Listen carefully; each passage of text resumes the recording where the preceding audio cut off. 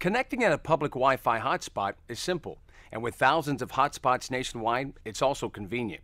You get unlimited usage at AT&T Wi-Fi hotspots, the nation's largest Wi-Fi network, at no additional charge with your AT&T mobile data plan or AT&T high-speed internet plan.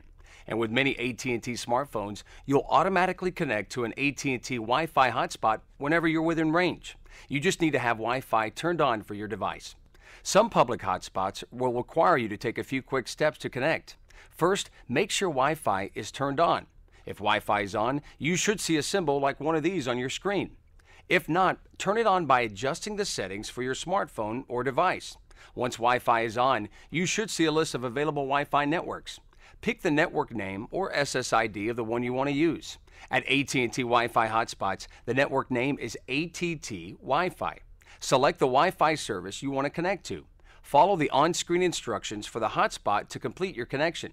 In some cases, you may need to open your web browser to complete setup. Now you'll automatically connect over Wi-Fi the next time you're at that hotspot.